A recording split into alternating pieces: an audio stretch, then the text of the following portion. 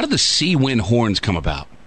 Since we had moved over to Hawaii and we're playing these shows, we needed to have some kind of other. We wanted to have some kind of other musical outlet, and we formed uh, kind of a small group over there and would play free concerts around in parks and and it kind of grew and we got a following and we said well let's you know let's try to do this for real and and so we formed a, a band and started playing over there and uh played in clubs there.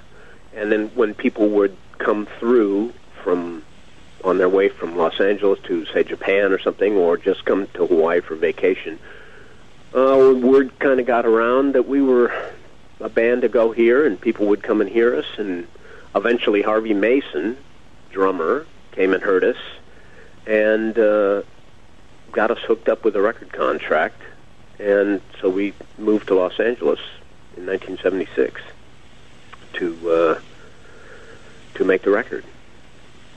When you were playing with that band, did that it, was that the start of your uh, your horn arranging? Did that start Yeah, your it- unique style like that?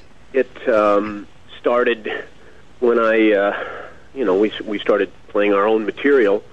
Uh, before that, we were playing, you know, Tower of Power songs, and we played some Brecker Brothers songs, and you know, we play Earth, Wind, and Fire. We do kind of more started doing some top forty type stuff, and uh, so I just said, well, you know, I'll, I'll write the horn parts out. So I did that and um, started doing that. And then when we moved here, uh, we were playing in the, in the Baked Potato. People would come down to hear us there, and like the horns, and they would say, "You guys want to come in and play on our record?" And I mean, we never really even thought about doing that. And then all of a sudden, we're kind of thrown into writing horn parts and performing on people's records.